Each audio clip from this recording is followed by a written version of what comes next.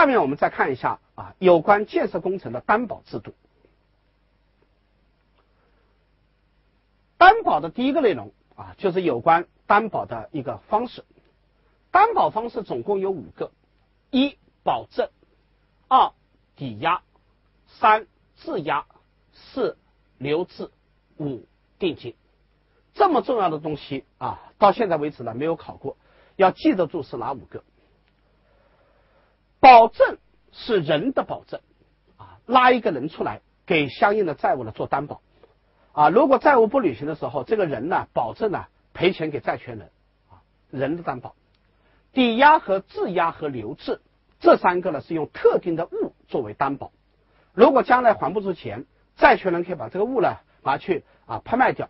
然后拿来抵债，定金是交给对方一笔钱做担保。如果我不买你的东西了，你可以把我的定金呢给他没收掉。那么由于保证是人的担保，所以它必定是第三人啊，不会是债务人本人。而抵押和质押都是物权，是设在特定的物上的权利。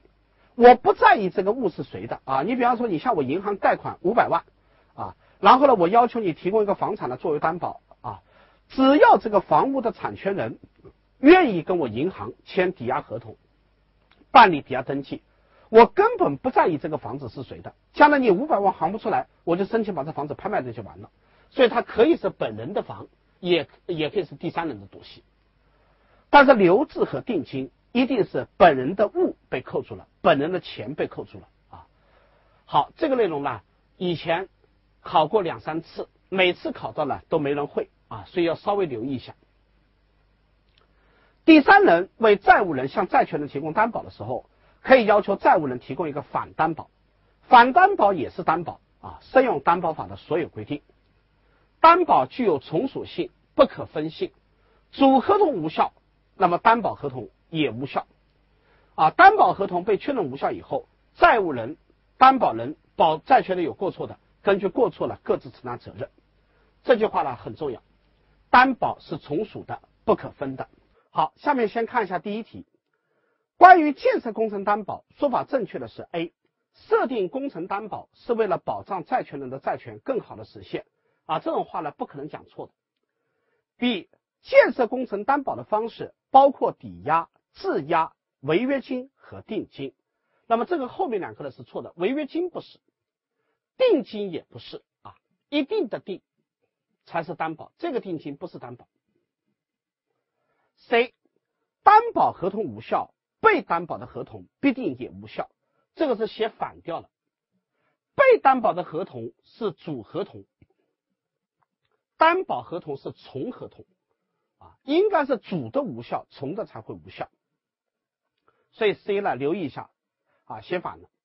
D，抵押物和质押物必须是债务人本人所有的物。啊，这个前面讲过，抵押权和质权都是物权，是对物的权利，而不是对人的权利，所以不一定是本人所有啊，可以是第三人所有。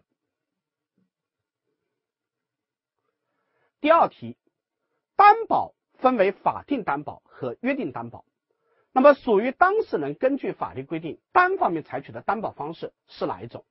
这个呢，根据我们前面啊在物权法里呢讲过的例子，同学们应该反应的过来。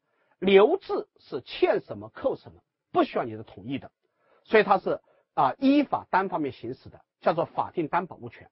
而保证、抵押、质押和留和这个定金都是合同行为啊，要签订保证合同、抵押、质押合同、定金合同的。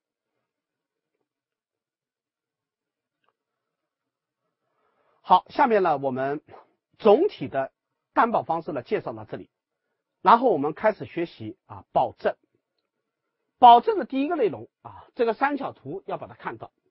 被担保的合同叫做主合同，保证合同指的是保证人向债权人做出一个承诺，如果债务人不履行，我保证替他把钱赔给你。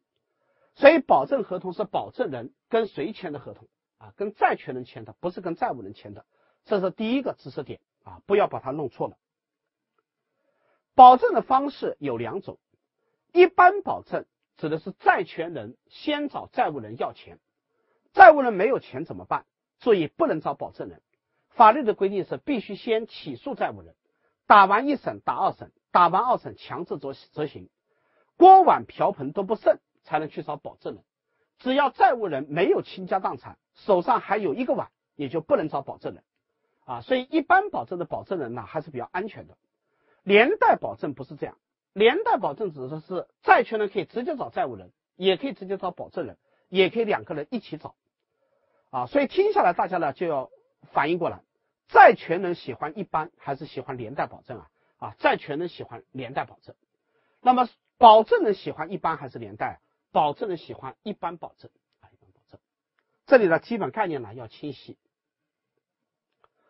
保证人的资格啊，看上去呢是死记硬背的东西，其实它是啊项目经理学习保证的最核心的内容。工地上呢会涉及到大量的保函，而保函中水最深的地方就是保函上敲的章啊。比方说有一个 PPP 项目啊，那么市政府呢为了融资，给施工企业呢提供了一个啊什么还款保证书。你一看这个还款保证上面敲的章啊，是某某市人民政府，马上找到市长啊，市长你开玩笑了，这个东西呢你给我了，我收着也没用的啊，还给你，你帮我换一个别的章啊，换一个什么啊某某市城市发展投资公司啊某某商业银行都没问题啊，但是政府机关的保函收了也是没用的啊，或者你看上面敲的章啊某某人民医院啊或者某某大学这种章呢都不要啊。那么某某大学后勤发展集团啊，那么这种集团公司的章呢可以收。如果一看章上面敲的是啊某某公司财务专用章啊，最好呢退回去，要求他换一个啊公章啊公章。如果是分公司的章啊，那么退回去啊，要么呢就是你把分公司的章这个保证书，然后加上法人授权书两个一起给我，我可以收。啊，没有书面授权的话，这种情况下呢，分公司的章不能收。所以呢，这段话其实就是提醒项目经理们，在收保函的时候，保函上的公，保函上敲的章是水深不可测的地方啊，务必呢要仔细看清楚啊，不要收了个无效的保函。第二个呢，就是看保函的时候呢，有几个特别重要的内容呢，要留意看一下。第一个，保证的方式有约定的按约定。没有约定的时候是按连带保证的，而保证期间有约定的按约定，没约定的话呢，应该是在履行六个月之内啊，要求保证人承担责任啊，或者在六个月之内呢要起诉债务人，否则过了这个时间的话呢，你就不能再追究保证人了。保证范围有约定的，按照保函上的约定；没有约定的时候呢，保证人应该对主债权利息违约金、损害赔偿金、实现债权的费用。啊，全部承担责任。那么被担保的合同是主合同啊，被担保的合同发生变更啊，对保证人的影响呢非常的大。这里的三段话，同学们其实呢不需要记的啊，看最后一句，被担保的债务加重或者被担保的债务人换了人啊，必须取得保证人的书面同意。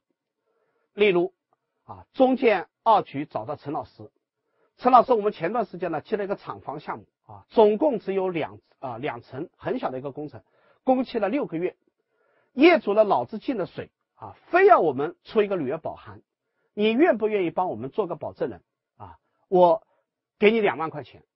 那么陈老师听完以后呢，欣然同意，因为我不相信你这么大个公司，连盖个两层房子都会盖出事来啊，我赔得起，你还丢不起这个人呢。这里这两万等于是我净赚的，结果陈老师做了保证以后呢，情况不对了，图纸天天改。啊，没多久了，这个厂房外面呢就加了一个什么办公楼，盖了个二三十层。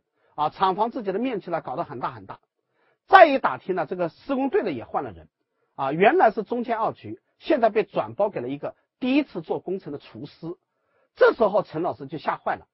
啊，那么由于陈老师是为施工单位的施工任务做担保。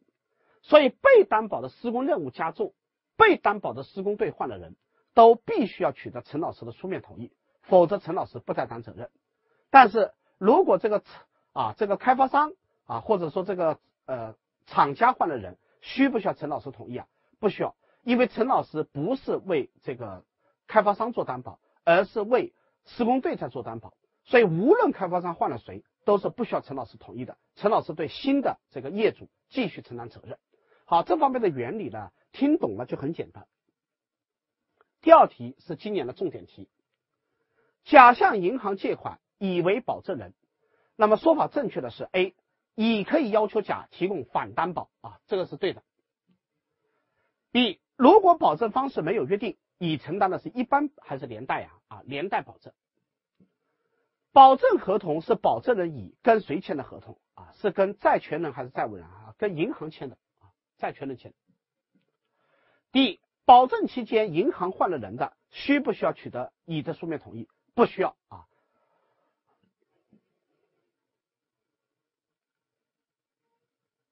第三题，甲企业与乙银行签订一份五十万的贷款合同，丙企业在贷款合同的担保人栏目中加盖了企业印章。现在甲到期没有还钱，说法正确的是 A，由于保证方式、范围、期间均没有明确约定，所以该保证合同无效。啊，说法是错的。那么这三个东西呢，虽然没有约定，但是法律全部替你规定好了。B，乙只能通过司法途径告得甲倾家荡产了，才能去找丙。C，乙可以直接找丙，但是只能问丙要本金。D，乙可以直接找丙，可以问丙要本金、利息和罚息等。这道题呢，考了表格里的两个内容，保证方式没有约定的，按一般还是连带呀？啊，按连带保证，既然是连带，乙就不需要去打官司了，可以直接找甲，也可以直直接找丙。第二个，啊，保证的范围没有约定的话，保证人是对本金担责任，还是对全部担责任？全部担责任。所以这个题做完以后呢，啊，那么保函里啊最重要的几个内容，同学们也就会记得比较牢。好，回头我们再看一下啊，施工中常见的保证种类，管理的话呢，一般每年都会考一分，但是法规呢没有考过这里，所以大致的了解。投标保证金啊，可以是现金、银行保函、保对支票、银行汇票、现金支票等。施工投标保证金不能超过百分之二，且不得超过八十万。以现金或支票方式提交的，必须是从基本账户里转出来，啊，不可以从分公司账户里转。履约保证金由招标文件规定啊，不得超过合同金额的百分之十。招标人要求中标人提交履约担保，应当同时向中标人提交一个对等的东西。那么履约担保对等的东西呢是支付担保。你问我要履约担保，我就可以问你要支付担保。最后预付款担保啊是承包人向发包人提交。第四题，关于建设工程中的担保。说法正确的是 A，建设单位将自有工程进行抵押，应当将相应的地权一并抵押，这个就是房地不分离，当然是对的。招标人要求中标人提交履约担保，应当同时向中标人提交一个对等的东西。那么，请问履约担保的对等是不是预付款啊？不是，是支付担保。C，预付款担保是发包人向承包人提交。保证按约定付款的一个方式，这个说法呢是错的啊。所谓预付款担保，指的是啊六月三十号工程开工，那么开工前一个礼拜，也就是六月二十三号，发包人呢应该向承包人按约定打一笔备料款，让他买材料。但是发包人有一个严重的心理障碍，万一我把钱打给你，你卷了钱跑掉不干活，我找谁去啊？于是要求承包人。啊，向发包人呢提供一个担保，担保人向发包人承诺，啊，如果承包人把你这三百万卷跑了，那么我替他把钱赔给你。这样的话呢，发包人心里就定了，啊，然后呢就放心的把钱打过去。所以预付款担保是承包人向发包人提交，担保承包人收到钱以后不跑路啊的一个担保方式。啊，这个概念呢，都是项目管理呢应该讲清楚的一个概念。那么，第一，施工企业集团财务部可以为下属独立子公司承揽工程项目出具履约保函。那么，在收保函的时候，一看上面敲的章是财务部的章或者工程部的章，这种情况下呢，都不要收啊，因为这种保函呢都是无效的保函。要求了总公司的章。好，关于保证就给同学们讲到这里。下面呢，我们再看一下抵押。接下来我们再学习抵押权。首先，我们看一下抵押的基本概念。公司甲以其名下的一栋办公楼作为抵押物，为公司乙向银行申请贷款做担保，并在登记机关办理了抵押登记。问你在这个关系中，抵押人是谁？我们在这里呢画了一个图。那么首先呢是被担保的合同是一个贷款合同，债权人是银行，债务人呢是乙公司，而公司甲出面。把自己的办公楼抵押给银行，约定将来如果说乙还不出钱，银行呢可以把这个办公楼呢去申啊协议折价，或者说是申请了拍卖。在抵押合同中，那么银行就是抵押权人，而公司甲呢就是一个抵押人，所以这道题呢应该选的是公司甲是抵押人。这个三角图呢以前呢没有考过啊，同学们呢大致的了解一下。抵押权人和抵押人的概念，哪些财产可以抵押，哪些财产不得抵押？同学们不要死记硬背，记住它的基本原理。抵押是买卖的前奏，将来还不出钱，抵押物是要拿去拍卖、拿去抵债的，所以一定是可以卖的东西才可以抵押，不能卖的东西就不能抵押。所以一听就知道啊，老婆孩子是不可以抵押的，胳膊和腿也是不可以抵押的。土地的所有权是公家的，不能卖也不能抵押。那么建设用地使用权是私人的，可以卖也可以抵押。宅基地使用权虽然是私人的，但是它是限制销售的，所以不能自由买卖，就不能自由拿来抵押。好，那么不不能抵押的土地所有权啊，宅基地、自留地的这种使用权啊，那么还有一个呢，就是。啊，依法被查封的啊，不能自由买卖的，都不可以自由拿来抵押。抵押权的设立分两种情况：房地产的抵押权登记才设立，不登记不设立；而动产的抵押权啊，无需登记，自抵押合同生效时就设立。第二题，根据物权法，下列哪些财产作为抵押物时？抵押权自登记时设立：A. 医疗机构的医疗卫生设施，那么不能买卖，也就不能自由的抵押。宅基地使用权虽然是私人的，不能自由买卖，也不能自由抵押，所以 A 和 C 是属于不能抵押的情况。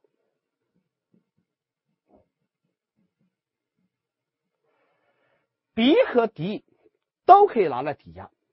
但是 B 是一个动产，而 D 是一个不动产。他问的是登记时生效的情况，所以呢，这里应该填的是不动产啊，选 D。这道题呢，其实三个知识点全部考到啊，哪些可以抵押，哪些不能抵押，哪些是动产，哪些是不动产。好，再看一下抵押的效力。抵押的效力呢？今年下面啊两段呢比较重要一点。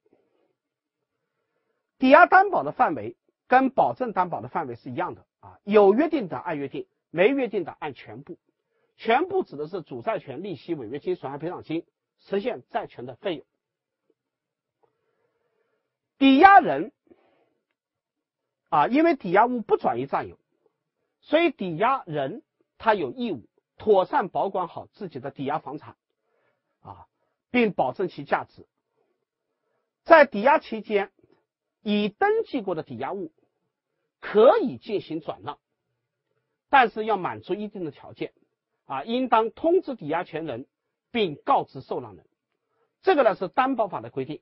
那么物权法的一个小修改啊，就是要经过抵押权人和呃受让人的同意。呃，我们教材呢还是按照这个担保法在写，不知道为什么啊，一直没有按物权法的最新规定来写。抵押人转让抵押物的价款啊，比方说这个房子呢抵押给银行了，现在房子呢可以卖，但是卖的时候呢，这个卖掉的钱啊啊应该提前还给银行，也可以交给第三人提存啊，第三人提存。抵押权是一种从权利啊，呃，具有从属性、不可分割性，所以呢，不可以和被担保的债权分离而单独转让。第三题，施工企业以自有的房产作为抵押物，向银行借款一百万，后来无力还贷，经诉讼后，抵押房被拍卖，拍得的价款是一百五十万，贷款的利息及违约金为二十万，实现抵押权的费用。比方说，给拍卖公司的钱十万块钱，那么拍卖以后呢，应该还给施工队的钱是多少钱？这个题呢出的很巧妙啊。拍掉的是一百五十万，担保公司呃，这个拍卖公司肯定要先拿走十万啊，那么还剩一百四十万。那么一百四十万里边呢，那么这个抵押权的范围如果没有约定的话啊，银行可以优先受偿的啊，应该是本金一百万。然后加上什么利息啊、违约金啊等等，二十万、一百二十万，这个呢都可以那银行呢先拿走，那么还给施工队的呢就是二十万。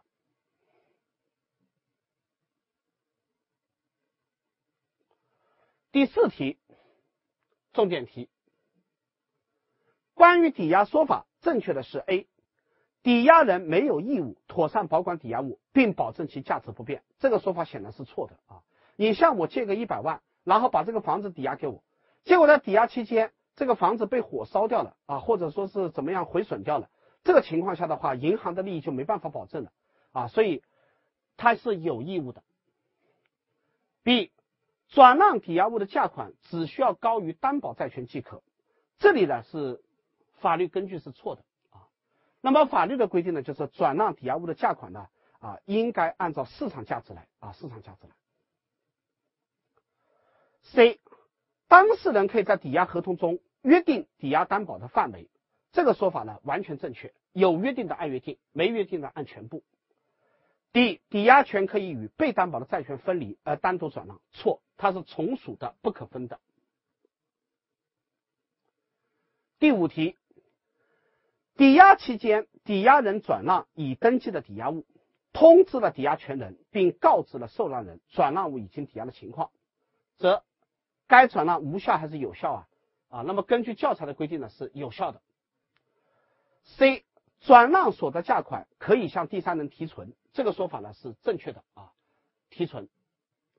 啊，转让所得价款应当由抵押权人所有，这个是错的，应该是清偿啊，清偿，可以优先呢还给他，提前还贷。那么 E，转让所得价款只能用于提前还贷，那么错在只能。啊，这这个章节的这些题啊，就是看上去好像特别的枯燥啊，都是法条的原文，所以学起来呢确实有点累。下面呢，我们看一下抵押权的实现。债务履行期限届满，抵押权人未受清偿，可以通过两种方式实现抵押权。第一种是和抵押人协议把抵押物折价拍卖变卖，协议不成的话，就去法院起诉拍卖变卖。简记为协议或起诉。同一不动产向两个以上人抵押，我们把这个就叫做重复抵押。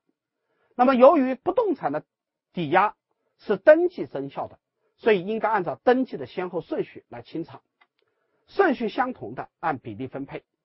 例如，某在建工程三月一号抵押给甲，借了一百万；三月五号抵押给乙，问乙借了两百万。三月六号又抵押给丙，问丙借了五百万。三月七号丙做了抵押登记，三月九号乙做了抵押登记。甲因为工作太忙，始终没有登记过。最后因为还不出钱，在建工程被法院拍卖，拍了两千万，最先给谁啊？最先给丙，因为丙登记在前。再还给谁啊？再还给乙。那么这两个人拿走了七百万，还剩一千三百万？一千三百万是不是非得给甲？不一定的啊，有可能开发商欠了银行行长啊一千万，再不还的话呢，以后贷不到款了；有可能欠税务局局长八百万啊，再不还的话呢，有可能将来啊税务呃税务呢会想办法啊让他这个售楼处呢查封掉，不能卖啊，还有可能欠了当天的报纸呢这个五百万广告费啊，如果再不还的话呢，搞不好这个以后就没法办法再做广告了。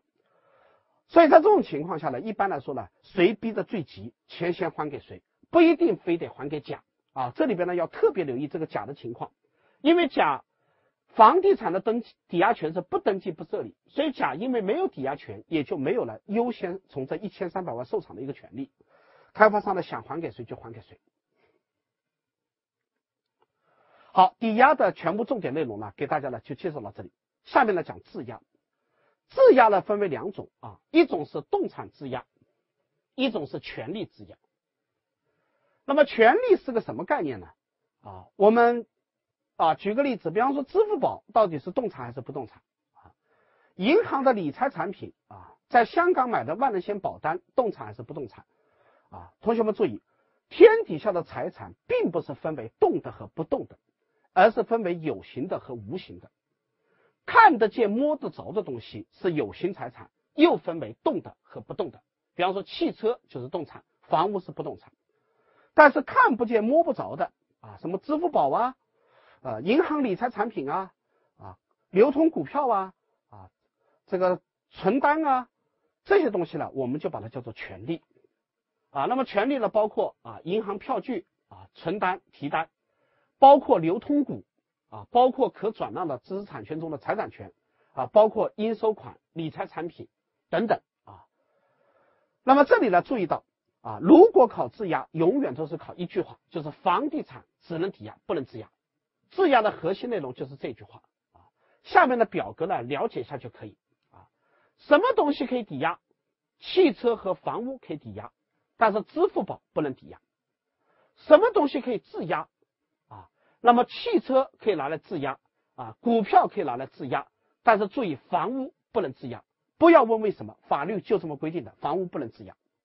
那么留置的对象只能是汽车啊。那么对于房地产，包括这个什么支付宝这些东西啊，不能用适用留置权。好，第六题，某开发商将 A 地块的地权作为向银行贷款的担保，确保自己按期还贷。问你把地皮拿来做担保，这是一种什么方式啊？这道题的话，呃，原来管理也考过项目管理啊。大家注意，建设用地使用权是有形的房地产，并不是无形的权利啊。那么所以呢，把这个房地产拿来作为担保，这是一种抵押的行为啊。抵押的行为，选 C。保证肯定是错的啊，保证是人的担保啊啊，由一个人出来做担保。第七题，甲施工企业在银行办理投标保函，银行要求甲提供一个反担保，那么甲不能够拿来质押的是哪几个啊？A. 施工设备，这是动产；流通股，这是权利啊，看不见摸不着的；应收款是一个权利，所以只有房屋产权属于不动产。那么可以质押的是动产和权利都可以质押。不能质押的是房地产，这个题是质押的典型题啊。这一个题会做的话，质押基本上问题就不大了。下面我们再学习第三种，就是留置担保。留置权是债权人依法单方面行使啊，无需征得对方的同意，无需协商，所以是一种非常强烈的担保方式，受到了法律的严格的限制。法律规定，一般仅在三个合同中才适用留置权。这三个合同呢，最近几年考疯掉了，要把它背得滚瓜烂熟。保管合同、运输合同、加工承揽合同，在债务人不履行债务的时候，啊，债权人对这个合同的标的物啊，也就是相应的动产有一个留置权。当事人也可以在事先签合同的时候明确约定啊，不得留置，通过事先的这个约定排除掉债权人的法定留置权。那么留置权人应当妥善保管好留置物啊！我欠了你的修理费两万块钱，不错，你把我几十万的吊车呢扣在了那里，结果呢扣了几天以后，吊车呢啊，因为某种原因被雷给劈坏掉，或者说被被烧掉了，在这个情况下的话呢，你应该赔给我啊，应该赔给我。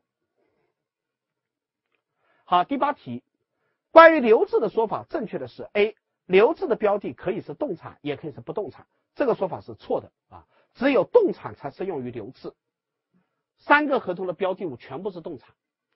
B 买卖合同中债务人不履行债务的时候，债权人可以依法行使留置权。这个说法呢是错的啊。那么适用留置权呢只有三个合同啊：运输、啊保管、加工承揽，不包括买卖或者说租赁合同。C 加工承揽合同中可以事先约定不得留置，那么有约定的话就按照约定的来，将来的话你欠了钱他也不能扣你的东西啊。通过事先约定来排除。第一留置期间留置物毁损灭失。由债务人自认倒霉，这个说法是错的啊，应该是留置权人他来进行赔偿。第四条，定金，债务人履行债务以后，定金应当抵作价款或者收回。给付定金的一方发生什么情况，无权要求退还啊，不履行。收受定金的一方发生什么情况啊，双倍返还。不履行。比方说，在小区里订了一套房，交了二十万的定金，约定五月一号交房，结果开发商晚了两个礼拜，五月十五号交房，能不能要求开发商双倍返还定金啊？不可以，因为这个呢是拖延履行，它不是不履行。五月一号如果准时交房，门把手是坏的，啊，空调呢在滴水，能不能要求开发商双倍返还？定金四十万也不可以，因为这个叫做瑕疵履行，不按约定履行，而不是不履行。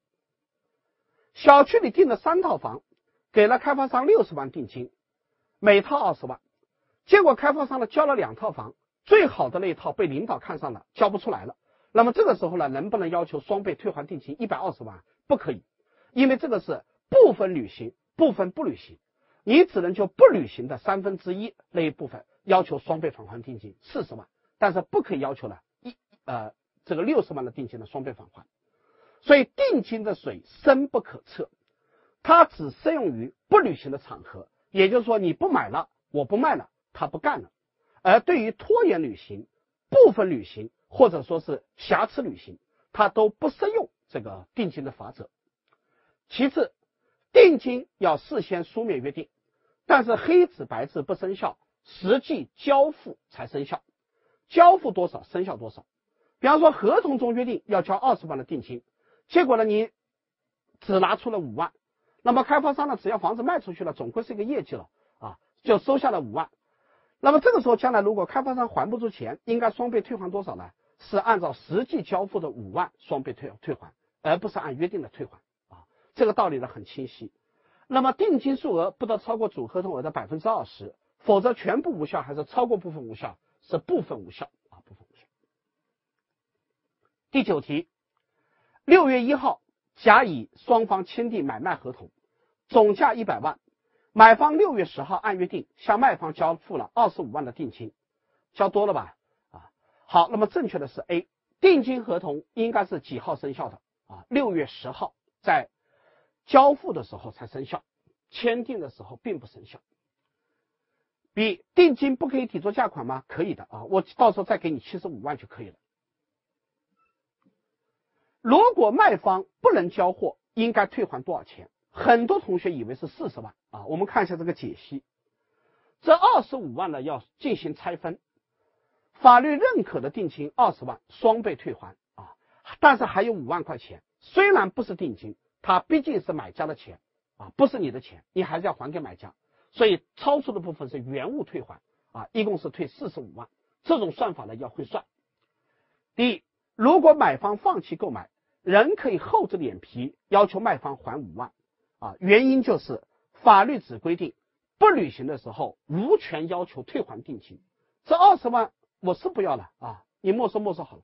但这五万块钱它不是定金啊，不是定金的话你没收它就没有法律根据啊啊，所以这个 D 呢是正确的。